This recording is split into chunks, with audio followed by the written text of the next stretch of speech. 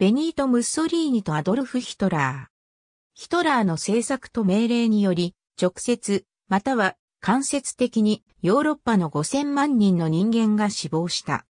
ムッソリーニのイタリアのファシズムと合わせて、彼らは全体主義体制の始まりであると考えられている。民主主義指数による国別の独裁傾向。赤みが強ければ強いほど独裁。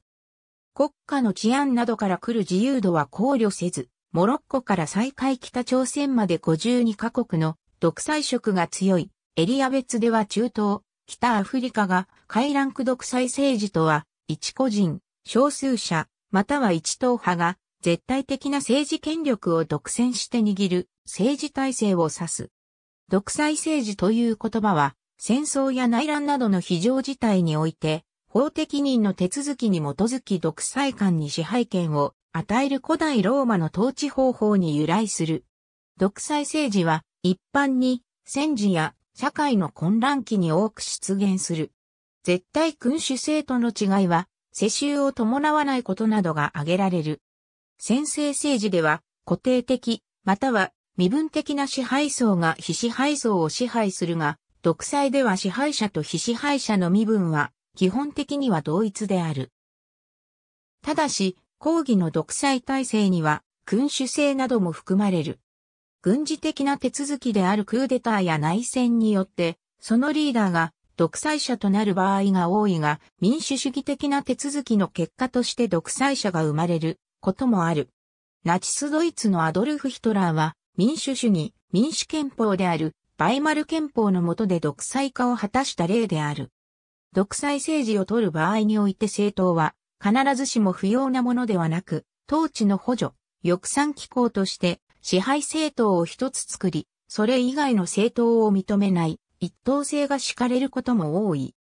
このような場合、対立党、候補の存在しない形式的な選挙を行い、この選挙結果をもって人民の支持を得たという外見が取られるため、独裁者や独裁国家が民主主義を称することも珍しくない。マルクス・レーニン主義を掲げる社会主義国の一部ではプロレタリア独裁を根拠に、共産党による一党独裁制を採用している。もっとも、世界のほとんどの独裁国は同時に、資本主義であることにも見られるように、独裁体制は資本主義体制であってもあり得る。非民主主義体制は全体主義体制と権威主義体制に二分される。全体主義は多元主義を認めず、唯一のイデオロギーを報じ、そしてそれに対し市民を積極的に動員することに特徴がある。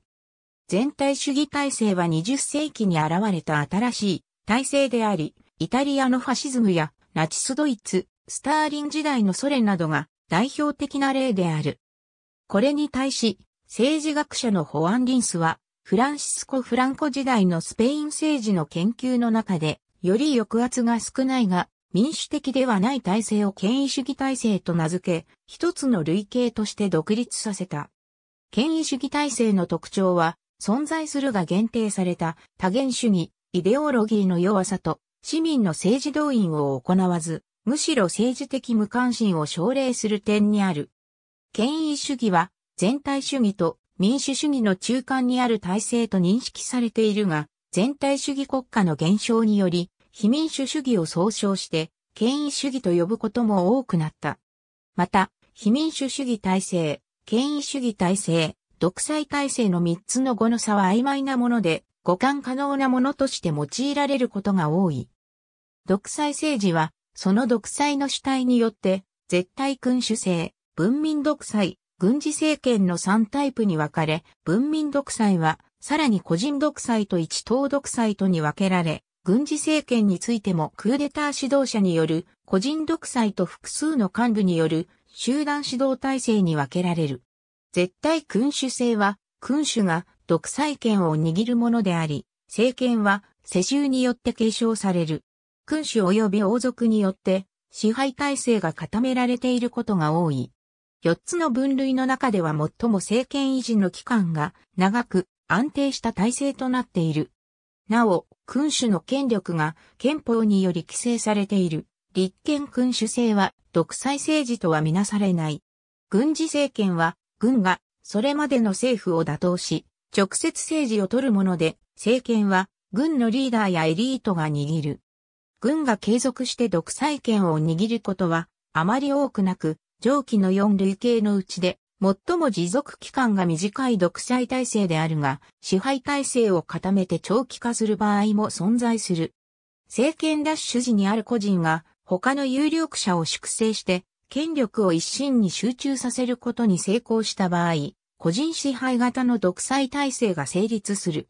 政権内に独裁者を脅かすだけの対抗者が存在しないため政権はかなり安定しているが、独裁者個人が死去した場合は終了する。一党独裁制は、一つの支配政党が独裁権を握るもので、党内で選出された人物が政権主座につくものである。この場合政権のトップには任期が定められていることも多く、後継者は再び党内から選出される。権力継承のシステムが確立されているため、絶対君主制に次いで安定度が高く長期化しやすい。支配政党の他にいくつかの衛星政党が存在を許される場合もあるが、こうした衛星政党は支配政党に異議を唱えることは許されず、形式的に存続しているだけのもので、実質的には意義を失っている。こうした形式的複数政党制は、ヘゲモニー政党制と呼ばれ、中華人民共和国やかつての東欧諸国の一部など、人民民主主義を取る社会主義国の一部では、こうした体制が存続している。ただし、中国の現行体制では、競合的な選挙が行われず、支配政党以外の政党が全く名目的なものに過ぎないため、これを一党独裁制に分類する立場も存在する。この他に、シンガポールなどの開発主義国家においても、野党自体は存在し、競合的な選挙は行われるものの、選挙制度などによって政権交代が不可能となっている国家が存在する。こうした生態は、競合的権威主義と定義され、全く競合的な選挙の行われない閉鎖的権威主義と区分される。独裁政治は決して民政に無関心なわけではなく、国民に利益を提供することで支持を買うことは珍しくない。むしろ自らの統治体制の正当性を確保するために経済成長を重視し、治安や市民生活に気を配って体制に忠実な市民の育成を図ることも多い。また、石油収入の豊富な独裁国家においては、食料や燃料価格に多額の補助金を支出して価格を低く抑え、国民からの支持を得ようとする。こうした補助金はより貧しい独裁国家においてもしばしば提供され、廃止の動きが起きた場合は暴動となり、革命につながることさえ珍しくないので、できる限り政府はこれを維持しようとする。選挙の際に政治家が利益誘導を行い予算を支持基盤に引っ張ってくることは民主制のみならず独裁制の形式的選挙においても同様に実施される。また、1990年代以降のアラブ、独裁諸国においては、円弧主義に基づく支持層への利権の分配と支持基盤の強化も盛んに行われた。一方で、独裁による統治は安定とある程度の行政能力をもたらすことも多いため、政情不安を嫌う市民から消極的な支持を受ける場合もある。独裁体制下においては、言論の自由や報道の自由が制限され、マスメディアは政府の統制下に置かれ、情報操作、先導、大衆動員の道具とされることが多い。中でも全体主義体制下においては、それが顕著で、ナチスドイツでの主に、ラジオ放送を用いた世論の操作はよく知られている。ただし主に国外のマスメディアから容易に情報が手に入れられ、言論統制が形骸化している場合は、独裁政治には不利な要因となり、1970年代以降、東欧や中南米で独裁体制が次々と倒れる原因ともなった。2010年から2012年にかけてのアラブの春においては、インターネットがこの役割を果たし、独裁政治を倒す要因の一つとなった。独裁的な政治体制の下では、体制批判は許されず、個人の自由は著しく制限される。民衆の意思表示は抑圧され、反対派は何らかの形で排除される。また、為政者の権力行使に抑制が効かずに、恣意的な国家運営に下ろすこともあり、国家としての方向性を失っていく場合も多い。この他の独裁性の欠点として、現代の大国や先進国は中国とシンガポールを除きすべて程度の差はあれど、民主国家であるため、発展途上国の多い独裁国家は、外交上不利な状況となることが挙げられる。特に1990年代以降、冷戦の終結とともに、先進諸国が独裁国家への民主化を求める動きが非常に強くなり、発展途上国への政府開発援助は民主化を前提とすることが多くなった。中でも援助に頼る部分の多かったアフリカ諸国において、先進諸国は独裁国家に対する援助の削減や停止を行い、独裁制国家は民主制国家に対し得られる援助額が非常に少ない状態となった。このことは1990年代前半においてブラックアフリカで急速な民主化をもたらす原因の一つとなった。一方で独裁制はトップの意思の伝達がスムーズであり、有能な独裁者がビジョンに基づき独裁を行った場合、国家が大幅に発展することも不可能ではない。こういった体制は20世紀後半の東、アジアや東南アジアの資本主義国に多く見られ、開発独裁と称された。普通選挙による議会制民主主義や大統領制などに加えて、権力分立や公職の多選禁止は政治の独裁化を防ぐ理念に基づくものと考えられている。この考えに基づき、1990年代のアフリカ諸国の民主化においては、多くの国家で参戦禁止規定が盛り込まれた。しかし90年代末以降、こうして選出された大統領の中で人気制限撤廃の動きを見せるものが相次ぎ、一部の国家では実際に憲法を改正して任期制限を撤廃し、大統領が長期政権を敷くところも現れた。任期制限撤廃の動きはアラブ諸国においても同様に見られた。こうした任期制限は独裁制国家でも導入されている場合があり、例としては成分化はされていないものの、中国共産党中央政治局常務委員会には68歳、定年制という不分率がある。2008年度民主主義独裁指標による独裁傾向の世界地図。黄色、君主独裁制、橙色、文民独裁制、赤色、軍事独裁制の3分類が独裁制であり、青、水色、緑は民主制国家2017年度ポリティ指標による独裁傾向の世界地図。青、完全な民主主義、緑、民主主義、黄色、開放的混合体制、橙色、閉鎖的混合体制、赤、独裁体制2019年度、フリーダムハウス指標による独裁傾向の世界地図。自由反自由非自由各国の民主、独裁の程度を定量的に評価するために、様々な民主主義指標が測定、公開されている。政治学において多く用いられる指標には、民主主義独裁指標、ポリティ指標、フリーダムハウス指標などが存在する。これらの指標の算出基準はそれぞれ異なっており、そのため指標によってある国家が独裁制に分類されるかどうかにも相違が生ずる。例えば DD 指標は選挙の競合性に的を絞った基準であり、民主制と独裁制を明確な基準で二分することができるが、選挙による政権交代の有無を条件に加えているため、一党優位正当性などで政権交代が起きたことのない場合、民主的な選挙が行われていても独裁制に分類される。このため、他の指標では民主制と判定されるボツワナや同じく南アフリカが独裁制と判定されてしまうなどの問題がある。ポリティ指標は選挙の競合性に加え三権分立や政治参加の自由度も基準に含まれる。フリーダムハウス指標は選挙制度のほか市民的自由や法の支配も判定基準に加えており、このため DD 指標で民主制に分類されるトルコは非自由国に、フィリピンは反自由国に判定される。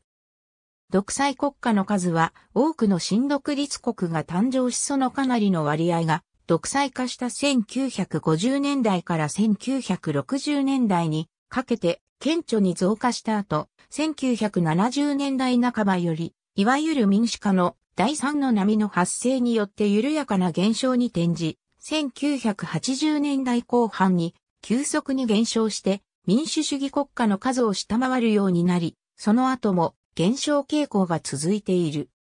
ただし、個別には2000年代以降、ベネズエラやタイなどのように民主制から独裁制、非民主制へと移行する国家もいくつか出現しており、これをもって2000年代以降に民主主義の後退や権威主義の強化が起こっているとの学説も存在する。民主制国家が独裁化する場合、クーデターや革命などで民主政府が崩壊する場合と民主政府が徐々に強権化を進め、民主制が侵食されて独裁制に転ずる場合の二つのパターンが存在する。このほか、もともと民主制とも独裁制とも呼べない中間的な存在だった政府が権力を強化し、完全な独裁政府となる場合もある。国際社会から独裁国家に民主化圧力がかけられる場合、民主化の成否は圧力を主導する欧米との政治、経済的関係の深さに左右されやすい。欧米との関係が深い場合は、独裁体制が崩壊しやすいのに対し、浅い場合は、独裁体制が維持されやすくなる。自国の経済的自立性が高い場合ほど、独裁体制は民主化圧力に対抗しやすくなる。一方、経済規模が小さくめぼしい資源も存在せず、欧米からの政府開発援助に頼る割合が大きい場合は、独裁体制は不安定になる。ただしこの場合、独裁体制が崩壊した場合でも民主化するとは限らず、新たな独裁体制が成立する場合も多い。自国に豊富な天然資源が存在したり、また政府開発援助や各種施設利用料などによって国内からの徴税に頼らずとも財政を維持することのできる国家をレンティア国家と呼び、こうした国家では独裁政権が維持されやすいとされている。これは、徴税が重要性を持たないため税を負担する国民の政治への発言権が小さくなる一方で、豊富な税外収入をもとに政府が行政サービスを積極的に行い、国民の不満を和らげるためである。共和制ローマ時代の独裁制に注目したドイツワイマール時代の政治学者カール・シュミットは独裁制と先制政治の違いを具体的例外性に見出している。シュミットは、独裁制は非常時に現行放棄を審判するが、それは法秩序を回復するという具体的目的に従属し、従って独裁は秩序回復の後には当然に終了する例外的事態である。独裁がこの具体的例外性を失えば、先制政治に転化することになる。としたさらにシュミットは、独裁を委任的独裁と主権的独裁に分類した。委任的独裁は、現行の憲法秩序が危機に陥った時、憲法秩序を維持するために、その機能を一時的に停止する独裁を言う。憲法の規定に非常体験が定められていれば、この独裁は、形式的にも憲法に違反しておらず、立憲的独裁と呼ばれうる。これに対して、主権的独裁とは、現行憲法ではなく将来実現されるべき憲法、秩序、政治イデオロギーに基づいて行われる独裁を言う。この場合の独裁は、主権を持つ人民からその権限を委任されているが、故に許されるとし、現行法秩序を全く超越して成立する革命権力がこれに相当する。主権的独裁の歴史的事例としては、フランス革命におけるロベスピエール独裁、ロシア革命や文化大革命における共産党独裁が当てはまる。英語の独裁政治の語源は古代ローマの独裁観に由来する。ただし、近代以前は共和制の国家そのものが少ないため、独裁と言える例は、新京都革命でのオリバー・クロムウェルや、フランス革命でのジャコバン派など、わずかな例にとどまる。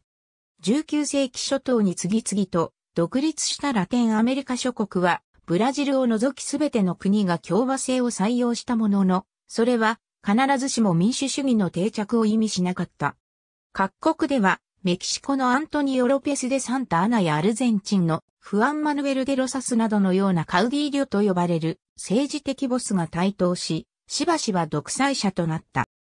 また西アフリカに建国されたリベリアにおいては、競合的選挙は行われていたものの野党勢力が非常に弱く、1900年代から1910年代にかけては選挙に野党からの立候補がないことさえあり、新生保育党による事実上の一党制が成立していた。第一次世界大戦を活気として、独裁制の二つの大きな流れが生まれた。まず、ロシア革命の勝者となったボリシェビキは、ソビエト連邦を建国し、プロレタリア独裁の名の下で一党独裁制を取った。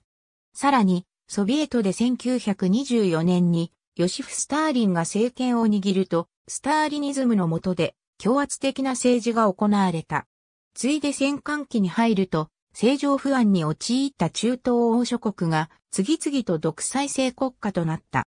イタリアで1922年にベニート・ムッソリーニ率いるファシスト党が政権を握ると、ファシズムが政治的な一大潮流となり、1933年にはドイツでアドルフ・ヒトラーが率いる国家社会主義ドイツ労働者党が政権を握り、ナチスドイツと呼ばれる全体主義政権を作り上げた。日本でも全体主義的傾向が強くなり、これらのファシズム政権によって第二次世界大戦が引き起こされた。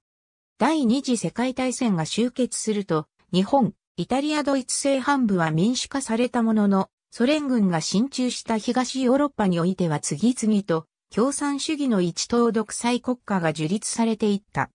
また戦後にアジア諸国の独立が進められたものの、新独立国の政情は不安定なものであり、しばしば独裁政権が樹立された。